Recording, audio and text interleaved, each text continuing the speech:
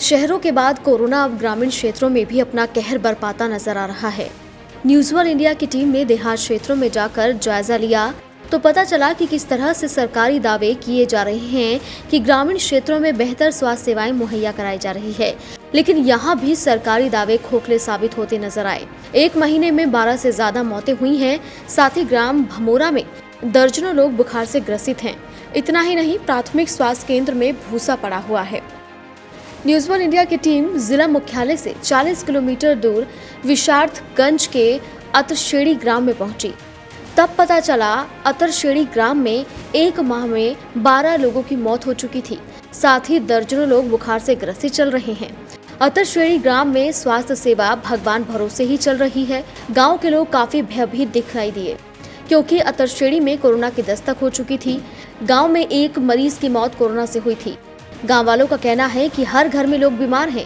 जिनकी मौत हुई, उनकी मौत कैसे हुई, ये भी संदिग्ध है, क्योंकि उन्होंने किसी भी तरह की कोई जाँच नहीं करवाई।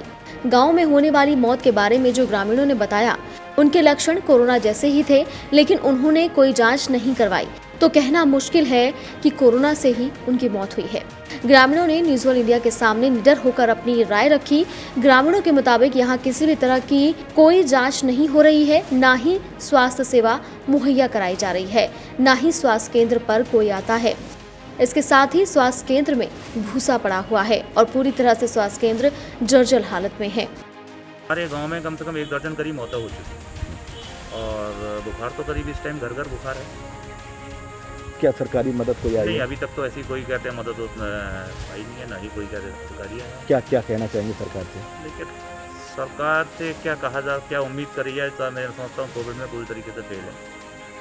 हम तो सर यही चाह रहे थे कि स्वास्थ्य की जो भी है कोरोना जाँच के लिए हमारे गाँव में आए और जो भी हमसे मदद होगी वो हम प्रशासन की करेंगे।